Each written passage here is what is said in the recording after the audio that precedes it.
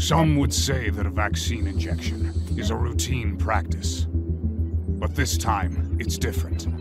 The future of dog kind is at stake. You are my dog's last hope, Beck.